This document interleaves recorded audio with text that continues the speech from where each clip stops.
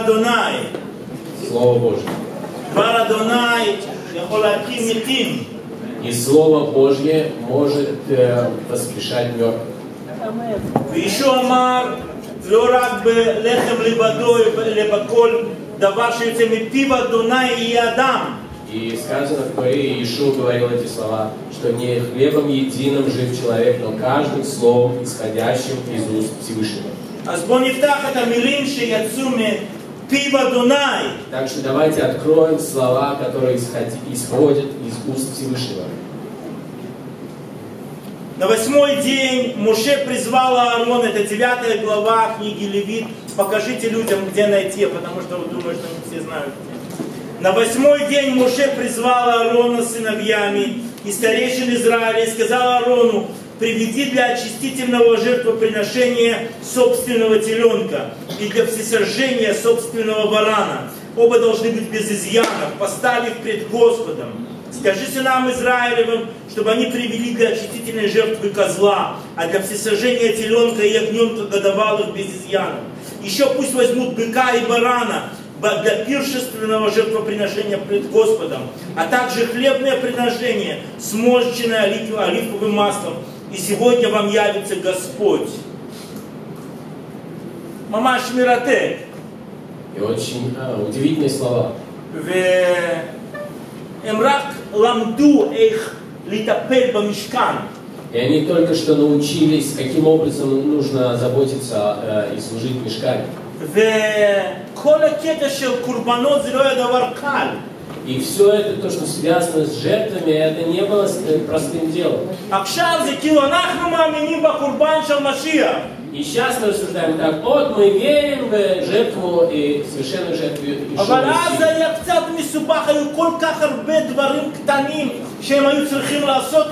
Но тогда, в те времена, это было такое сложное дело, такое количество жертв, и их нужно было э, специфическим образом приносить.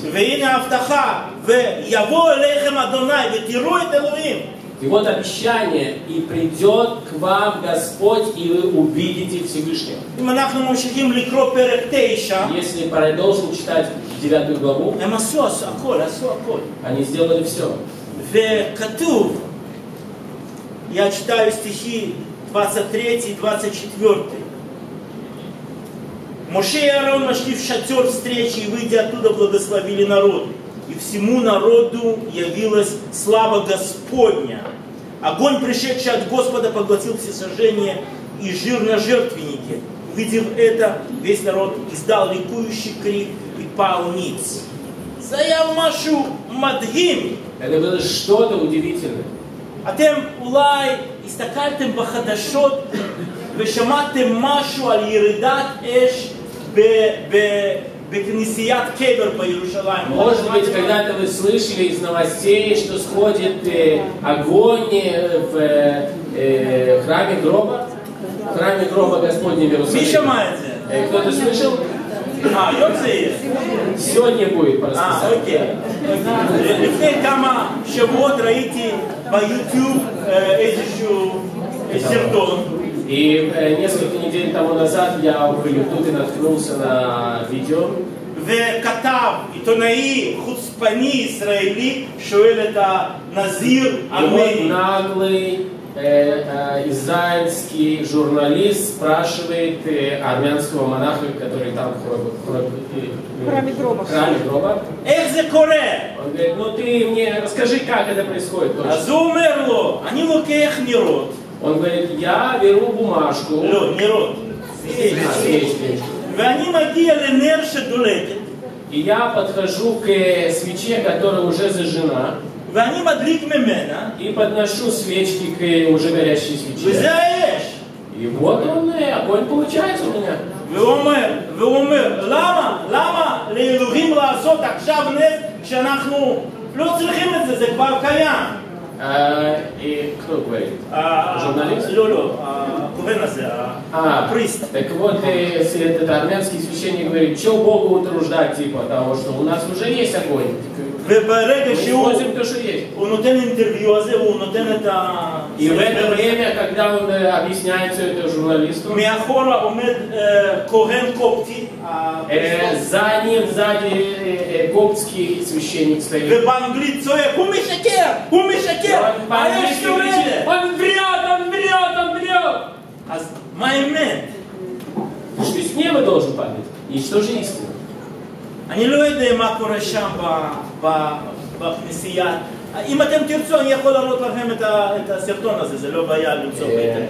да, если вы хотите, потом я вам дам э, ссылку на это видео. Я не знаю, на самом деле, что там происходит в храме гроба.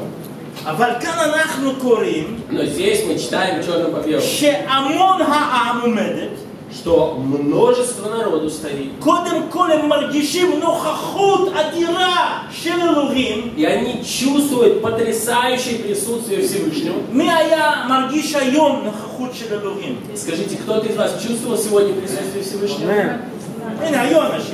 Были ли вас? А Балькама а шелелугим. Но есть такие, которые не чувствуют. אבל שם זה היה משהו אדיר. Но там было что-то исключительное. הם היו פשוט נופלים כי זה היה חזק Они מדי. все упали на свои лица, потому что это было выше их сил. וגם אש משמיים נופל. И падает огонь с неба. משהו מרתק, חבל על הזמן. Вот хаваля лазман просто. ו- ואני רוצה להגיד, אה, יש עכשיו כל מיני שירותים, השתחוויה בעולם כולו. И по всему миру мы знаем множество служений, поклонений и все это. ושם ופה מתפללים. И там, и тут молятся. זה הכל יפה וטוב וצריך. И это все хорошо, и это красиво, и это важно. אבל זה היה ממש רחוק ממה שאז קרה. Но это все еще э, настолько далеко от того, что произошло там, и то, что мы читаем, когда люди падали просто. זה היה משהו שאנחנו לא מבינים. Это мы не можем себе представить, мы не понимаем этого. אני רוצה להגיד משהו אולי מוזר. Э, хочу сказать, что это странно. בקוסמוס, באטמוספירה, היה משהו שונה.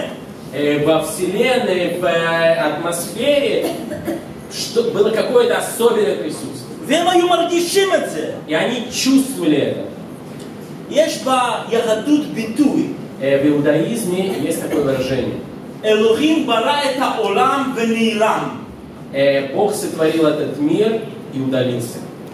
לא כאילו הוא דלילסה, אלא הפך להיות בלתי נראה.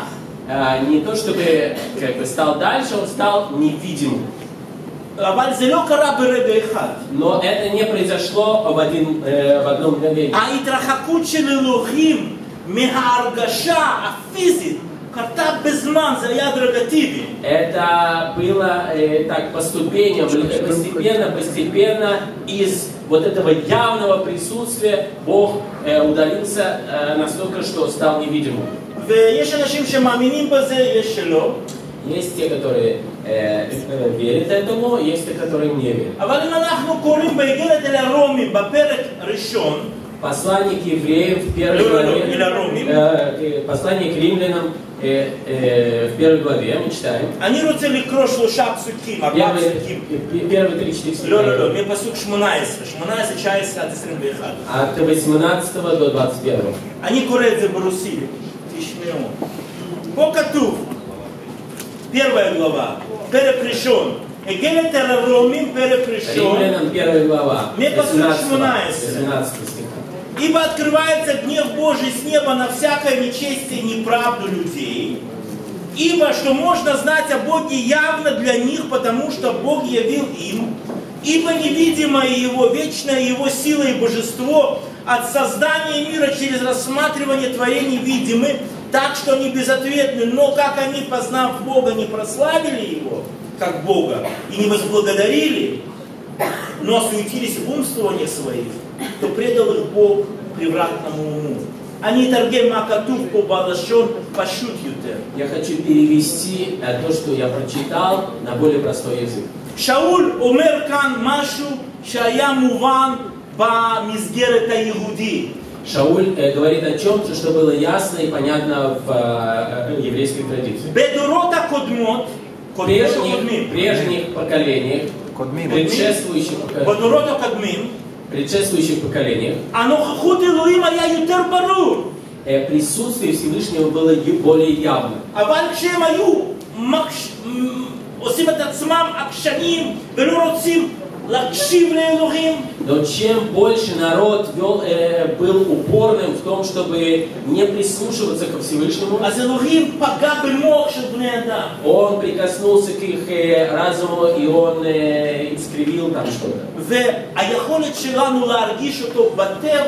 И наша способность сегодня чувствовать Бога в природе вот так, вот, как чувствовали некогда и працы. И הרבה יותר נמוך, היכולת שלנו הרבה יותר נמוכה. наша способность такая э, гораздо более э, ниже того уровня, что было когда-то. אבל שם הם היו מרגישים אותו. Но там они чувствовали явным образом его. אני רוצה לקרוא עוד משהו מפרשה של היום. И еще что-то хочу прочитать из недельного чтения. אנחנו נעבור לאותו פרשת שבוע, ויקרא, אבל פרק 10. Тоже недельное чтение, но из 10 главы. בואו נפתח ביחד, Давайте בבקשה. откроем. חשוב שאתם תבינו על מה אנחנו קוראים. לוי, ויקרא. Левит, 10 глава. אחרי שכל הדבר הגדול קרה, Когда, после того, как все это великое дело произошло, הם היו כולם רועדים מנוכחות אלוהים. они просто тряслись от присутствия Всевышнего. שני אנשים, Два человека, קוראים נדב ואביהו. Надав и Авиуд. מי זוכר את השמות האלה? Кто-то помнит эти, эти имена? תחשבו, בני כמה הם היו? Э, подумайте, прикиньте, сколько им было лет. Около 30. Сколько? 30 это. 30, говорят. יש אנשים אומרים 40, 50, Есть, говорят, מי, מי э, חושב שהיו בני 13? 40, 50. Кто-то думает, что Они они, вообще- они были бармицинного образа, э, возраста? זה במסורת, במדרשים אומרים ככה. Мидраши говорят, что им было 13. אבל אהרון היה איש מבוגר בזמן הזה. Но мы знаем, что Папа Арон, Шилай. Арон был около э, 100 лет. ему было. я, я думаю, что больше. אולי 120, 130. Может быть, э, 120 или 130. אני לא רוצה להתווכח, נראה לי שהם היו ממש אנשים מבוגרים. Не будем спорить. Мне кажется, что они были такого серьезного возраста. Они были опытные. Они были очень ответственные в том, что они делают. А Но вот мы читаем что-то они странное. А сыновья Аарона, Надав и Авиуд, боеврит Авиу. Авиу. Авиу. Авиу. Отец, он мой отец. Не Авиуд, а Авигу. А он отец. Ну, ну, по-русски за Авиуд, а в Арбаибрит Авигу. Авигу. Последнюю «д» зачеркиваю. А сыновья Аарона Надав и Авигу, взяв свои кадильницы и положив в них горящие угли и благовония, принесли Господу чуждый огонь. Эмлёнах хуме эш шеярат мешамаем – что они сделали? Они не взяли от того огня, который сошел с небес.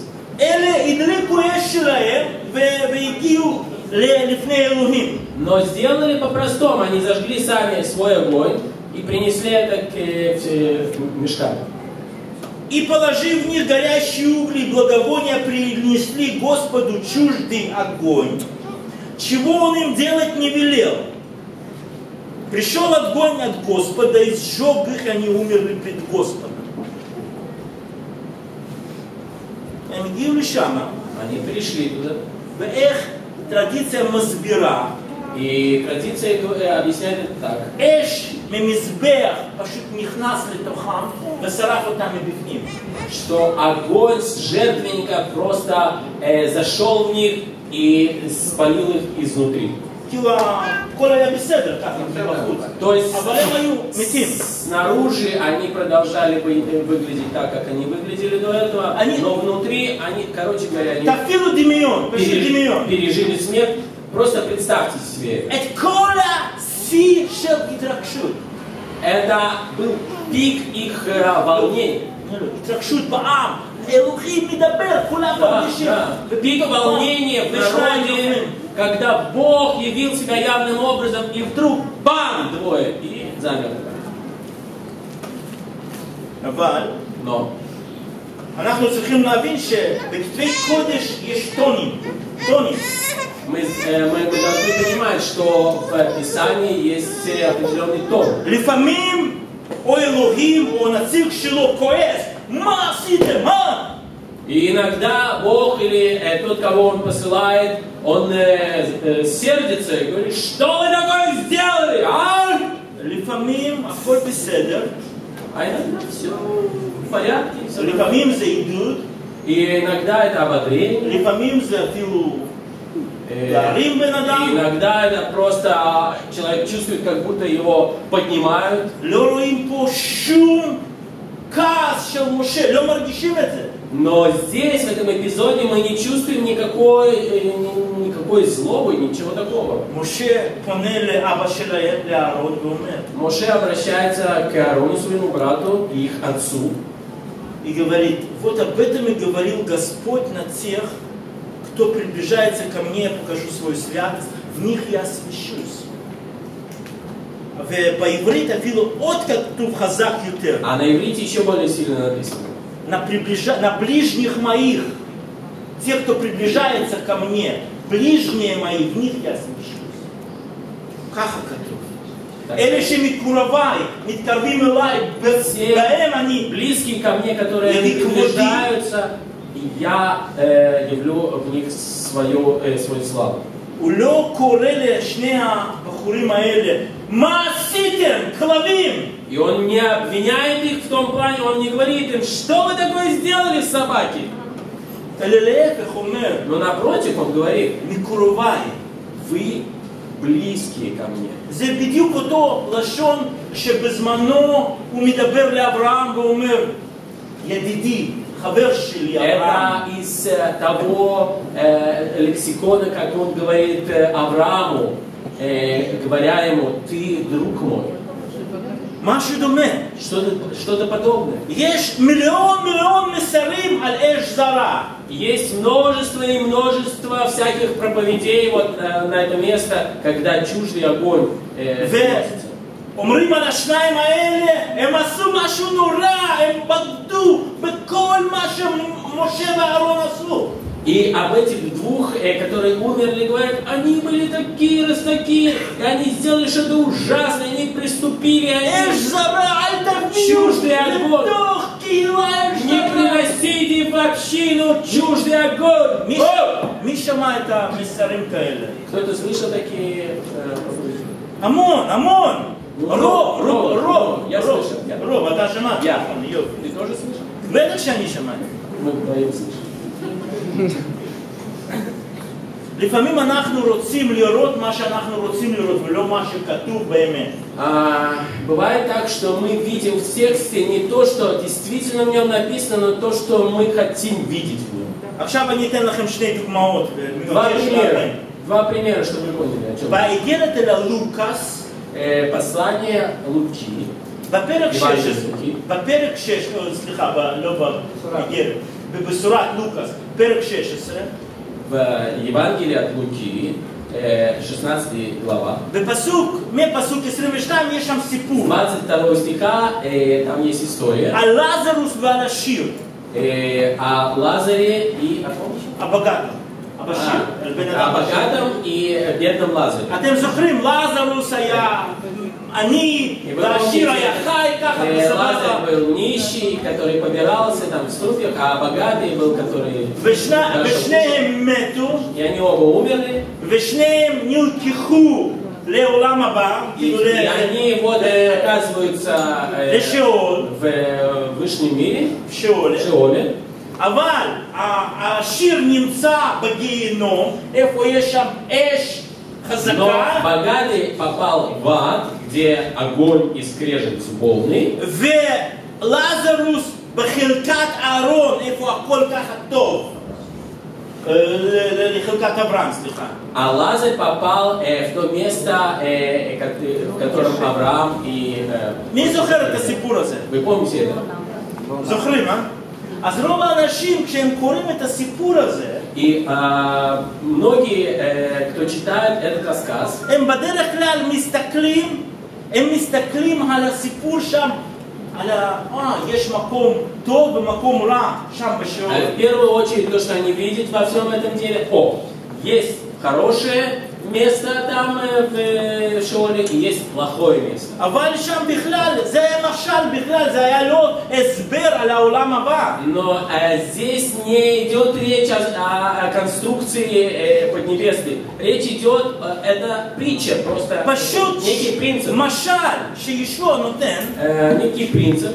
ומשמעות שם לגמרי אחרת, ואנשים לא מסתכלים И על זה. суть там совершенно другая. שם כתוב ככה, אתם זוכרים שאיש העשיר אומר לאברהם, И этот э, богатый человек, э, помните, говорит Аврааму, שלח אותי לאחים, אני אסביר להם שהם צריכים לגור אחרת, או אחרת הם יהיו פה במקום он רע. говорит, пошли э, этого самого Лазаря к моим братьям, чтобы он сказал им, чтобы они, не, не дай Бог, потом не попали в то же место, что и я. והנה, על מה מדובר שם כל המשל הזה?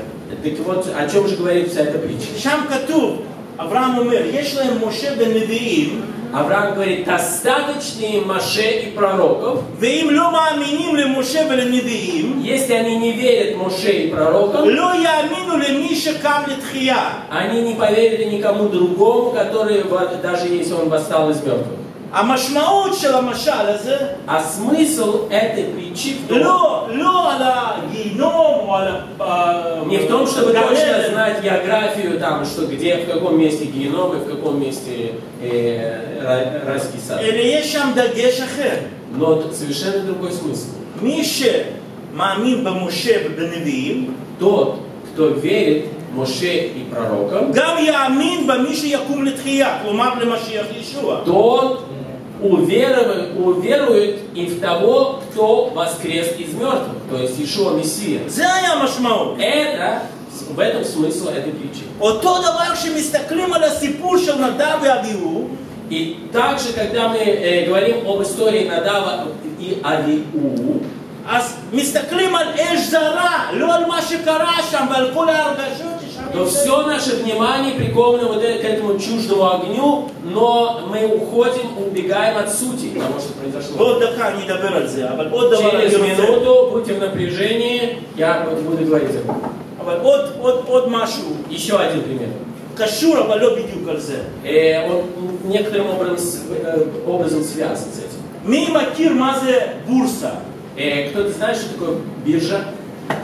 בורסה של ניירות ערך, מי מכיר? Это ценные бумаги, биржа цен- ценных бумаг. אה, אני, אני לא חושב שיש בינינו פה הרבה מומחים, Я не думаю, что среди нас есть много специалистов, אבל יש בבורסה но есть э, э, биржи. שיטה שנקראת שיטת נרות. Э, там есть э, способ э, действия, который называется способ свечи. הם עושים כזה כמו מרקטינג, нерод,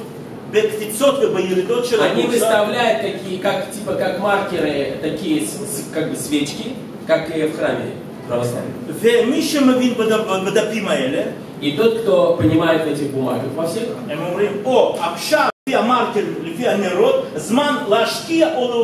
и по этим маркерам, когда, ну, там как что-то происходит, короче говоря, те, которые понимают, они говорят, о, сейчас время в соответствии с этими маркерами вкладывать или наоборот э, э, извлекать. А за нашим коммуну, вот и такие, как мы, это маркеры мои, которые в этом общине.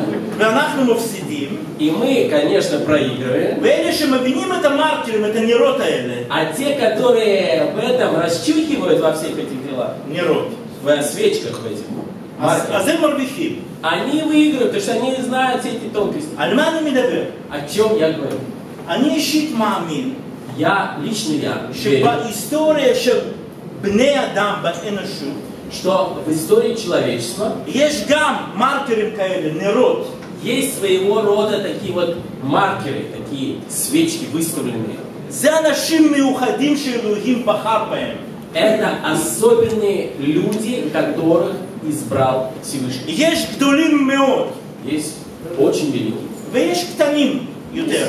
Есть э, поменьше.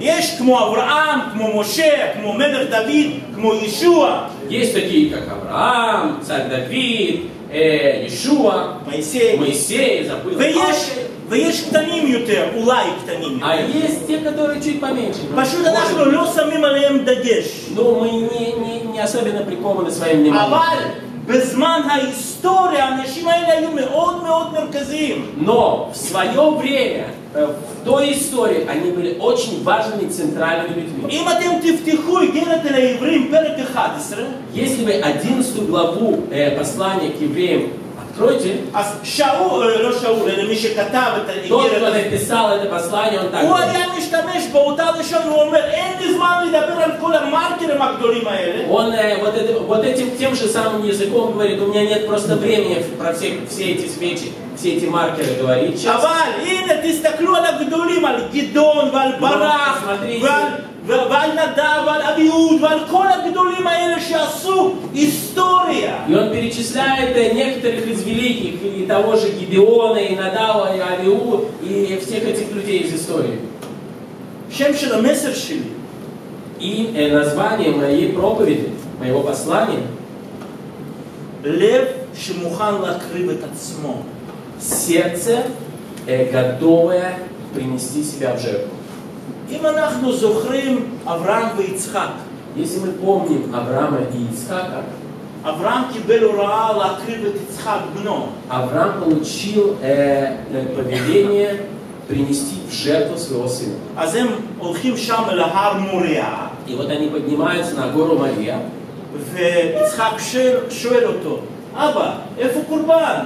и Ицхак э, спрашивает своего отца, папа, а где жертва? אין שם גם שום כעס, שום התנגדות, И там שום, нет שום דבר. какого-то э, спора, сопротивления, злобы.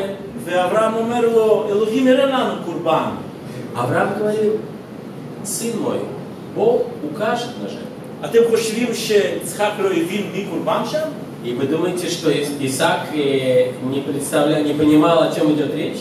Коли Он понимал, что он и есть та жертва, которую Бог покажет. И вот они поднимаются на гору Мория.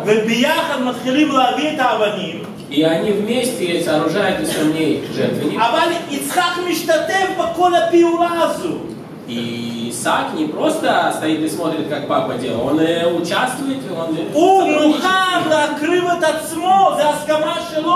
Он готов принести в себя, себя в жертву. Чи- Это его личное согласие, הוא, מב- готовность. הוא מבין, הוא גם מרגיש אלוהים בצורה אחרת. אמרתי, קוסמוס היה שונה קצת.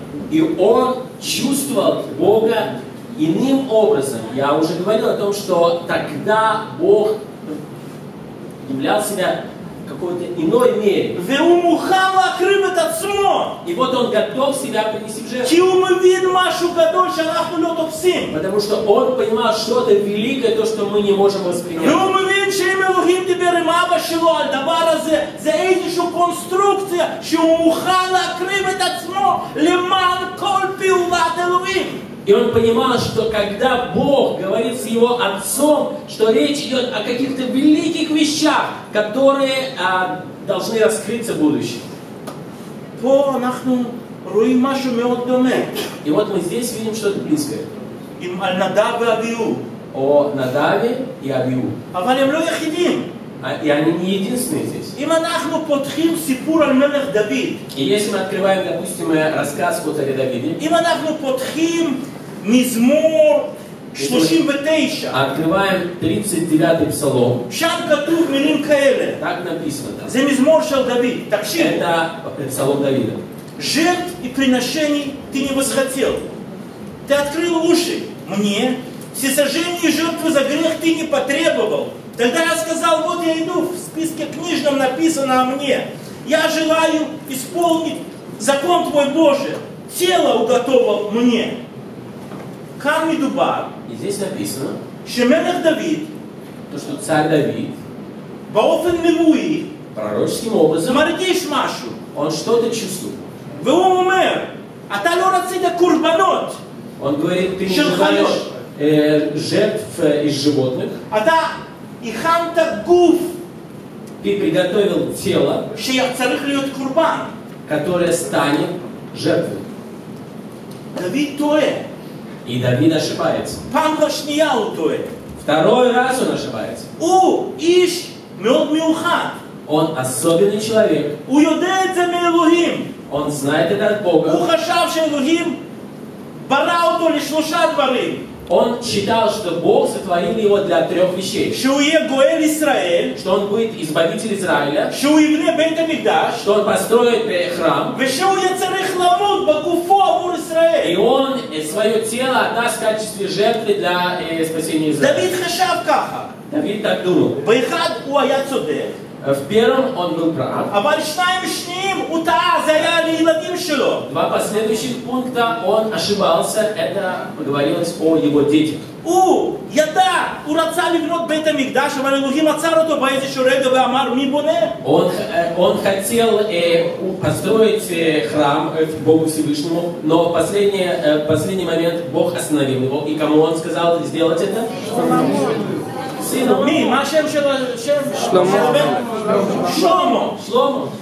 אותו דבר עם הגוף שלו. И то же самое о его э, теле, которое הוא должно כותב, было זה принесено в המזמור жертву.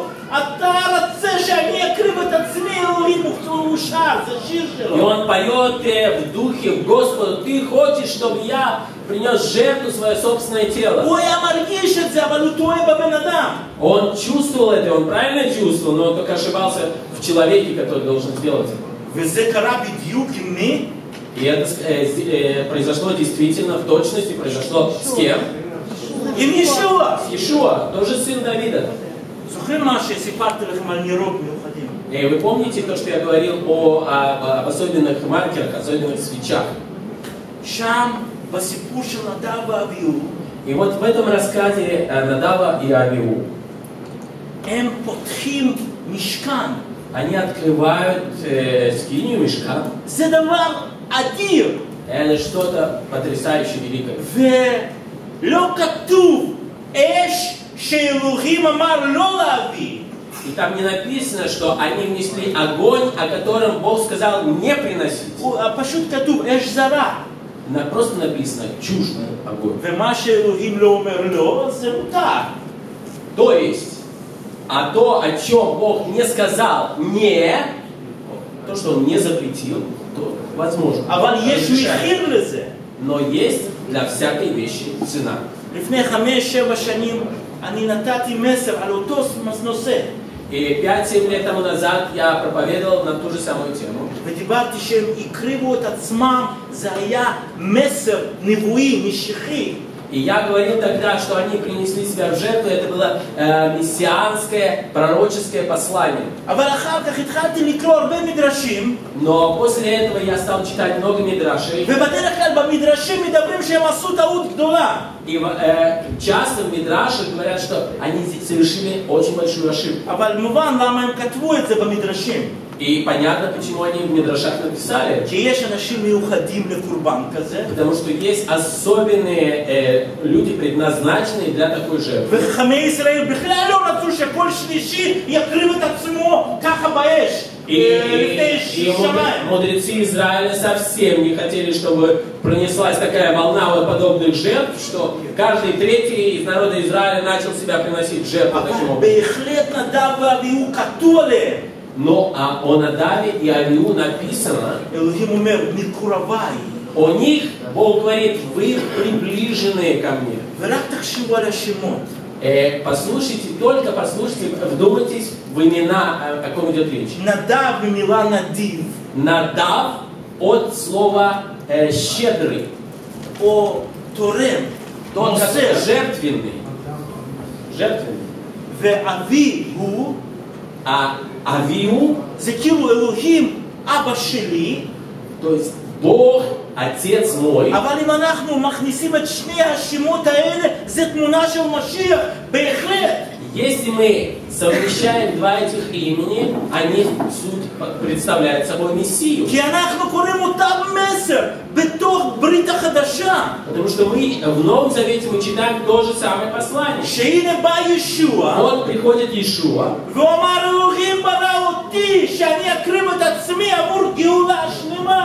Что Бог э, сделал меня, призвал меня для того, чтобы я принес э, полное избавление. Ави, у, Он, ששולח אותי, мой Отец, который послал меня, ואני מוסר את עצמי בלב נדיב и я предаю себя щедростью עבורכם.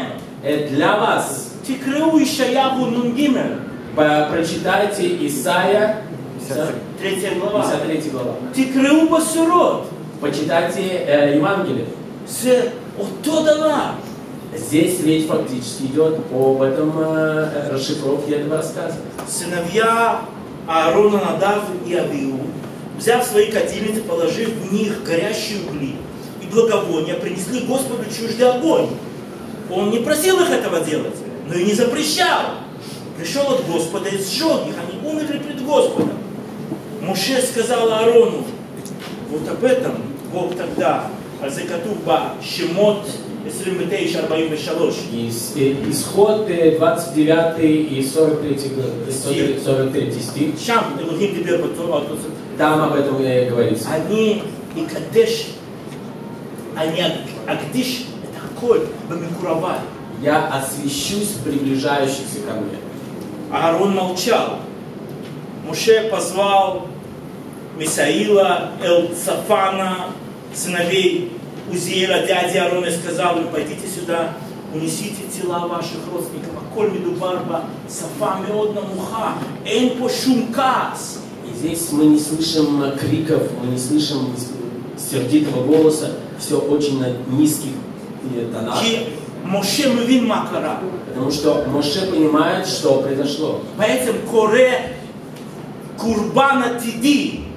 В сущности, это был прообраз грядущей жертвы. והוא אומר לאהרון ולבניו, אלעזר ואיתמר, אל תעזבו, אתם לא צריכים להיות בשיבה עכשיו שום דבר, תמשיכו לשרת לאלוהים. И он говорит сыновьям Аарона, вы не должны участвовать в э, э, э, погребении и в э, трауре, но вы должны продолжать свое служение. Потому что вы сейчас вы своим служением вы освещаете народ Израиля.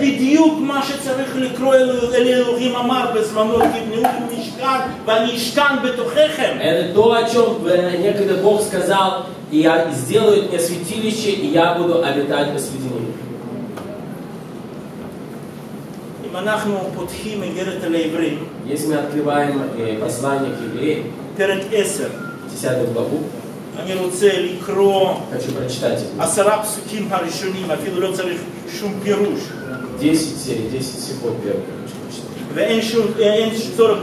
И там они не нуждаются в комментариях. כי בעצם העשרה הפסוקים האלה מסבירים בדיוק אותו מה שקרה שם ב- ב- ב- ב- ב- ויקרא, בלוויטיקוס 10. Эти 10 стихов как раз объясняют э, вот ту ситуацию, то, что мы только что читали в э, Левита э, э, 10 глава. אבל תקשיבו את זה, Послушайте.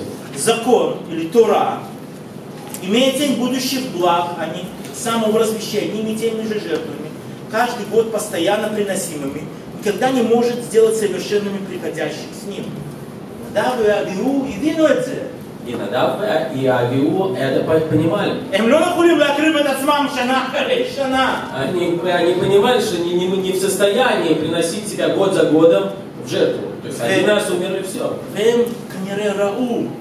Это Ямей Маши. Но по всей вероятности они видели, они прозревали не Мессию. Иначе перестали бы приносить их, потому что приносящие жертву, были очищены, однажды не имели больше никакого создания грехов. Но жертвами каждогодно напоминалось о грехах. Ибо невозможно, Такшиву, чтобы кровь тельцов и козлов уничтожала грехи. Посему Ишуа Гамашия, хотя в них говорит, словами Давида, то, что я цитировал до этого, жертв и приношения ты не восхотел, но тело уготовал мне. Всесожжение и жертвы за грех не угодны тебе. Тогда я сказал, вот иду, как в начале книги написано, во мне исполнить волю твою Боже. Сказав прежде, что ни жертвы, ни приношения, ни всесожжения, ни жертвы за грех, которые приносятся альпи Тора, то есть это все только змани, ты не восхотел и не благоволил, потому и прибавил. Вот иду исполнить волю Твою Божию. И устанавливает для нас новую жертву. По сей воле мы единократным принесением тела Ишуа Амашеха освящены. Ма ешлану ютер. Что нам, чего нам желать еще? Рак только приближаться к Всевышнему. Лавин понимать שישוע היה גדול מכולם אבל לא יחיד, что Ишуа был самый великий из всех, но он не был единственным. והיו אנשים כמו נדב ואביהו, И были такие люди, как Надав и Авиу, כמו דוד ויצחק, как, как Давид и Ицхак, כמו גדולים אחרים, кто, как другие великие, שקיבלו אש בתוך לב, которые приняли огонь в свое сердце שאנחנו для того, чтобы мы не э, э, приносили себя в э, жертву огню, как э, подобные им, но чтобы мы получили, приняли в себя огонь, желание служить Всевышнему. Может быть, немного тяжеловато было сегодня послание. Но я думаю, что вы меня поняли. אלוהים יחפש לבבות שלנו. Бог ищет наши сердца. הוא רוצה שאנחנו Он хочет, чтобы мы, נגיע אליו ונגיד לו, чтобы мы пришли к Нему и сказали, אבא, אני רוצה לשרת לך.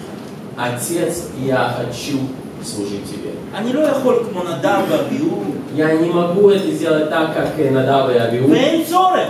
и в этом нет никакой нужды. כי ישוע כבר עשה את זה בטופ של הטופ. Потому что э, Ишо сделал это совершенным образом. אבל תן לי רצון Но дай мне желание לשרת לך. служить Тебе. בוא נעשה עכשיו אקספרימנט אחד. Давайте мы сделаем один эксперимент. Огонь принести. לא, לא. תסגרו עיניים. Э, закройте ваши глаза, пожалуйста. לד- ל- לדקה. на одну минуту. Э, только Скиру э, это и мы, мы с Ифраимом будем видеть, потом мы вам расскажем. И, э, пожалуйста, все закройте глаза. Ми ибед эш лишарет лелуги. Тариму я. Те из вас, которые получили... Лё, потеряли. А, те из вас, которые потеряли огонь а, служения Всевышнего, поднимите руку.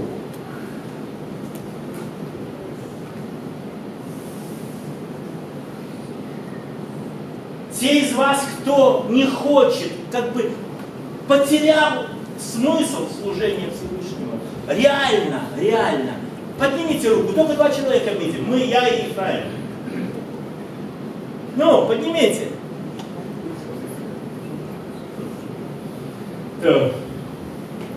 Я, я, я вам не скажу, кто поднял руки. А ты ну еще бы. Естественно, что ты на небесах. Я вам благодарю тебя за Надава и Авиу. Какая потрясающая картина. Они были готовы и они принесли себя в жертву. Это это просто сумасшествие. Мелех я мухан лакрив это цмо. Царь Давид готов был принести себя в жертву. Ихад Моше цак лифанеха кахоти тишмор. Не однажды Моше кричал пред тобой, возьми меня вместо них, э, э, сделай из меня жертву. Еще осадзе бы. И Ишуа тот, кто принес совершенную жертву. А за Израиля и за все человечество. Манишар лан. Но что же остается нам? Аба, тен лану рацион. Отец, дай нам желание. Ликабель руах шелширут. При, принять э, дух служения. Велиот эдей машиах. И быть свидетелями э, Машины Мессии, Ишуа. Бе леви матана шелурим нотен В соответствии с тем даром, который ты дал нам. Тазор лану кулан. Помоги нам всем. Блишидоон Без э, сумасшествия, אבל גם בלי עצלנות. но и без э, лени. אני מתפלל על זה עבור כל קהילה שלנו, Я молюсь сейчас о всей нашей общине. וגם עבור אלה ששומעים בה- אותנו ב... И также о Онлайн. всяком, кто э, видит и слышит нас. Э, э, כי יש הרבה אנשים בעולם כולו потому что есть много-много людей во всем мире, שכן רוצים לשרת לאלוהים. которые, да, желают служить Всевышнему. משהו או מישהו הפריע להם. И что-то или кто-то мешает им. לפעמים פשוט גאווה Иногда это просто гордость. לפעמים פגעו בנו, Иногда мы просто ранены чем-то. או היה אולי המרירות, Или горечь какая-то. אולי חיכינו הרבה זמן, שום דבר לא קרה, אז התייאשנו. И, может быть, мы много-много времени ожидали, и ничего не произошло, так мы разочаровались. Отец, я молюсь о том, чтобы Ты обновил нас служить Тебе, приближаться к Тебе. В одном из мидрашей написано, Моше говорит брату своему Аарону, и я ожидал, что я, ты и я будем вместе э, на месте твоих э, сыновей. Но они оказались более достойными того, что они сделали.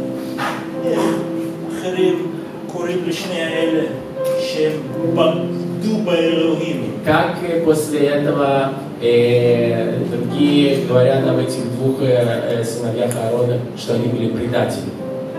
הם רצו להקריב את עצמם Они хотели принести себя в жертву עבור כל עם ישראל. за весь народ Израиля.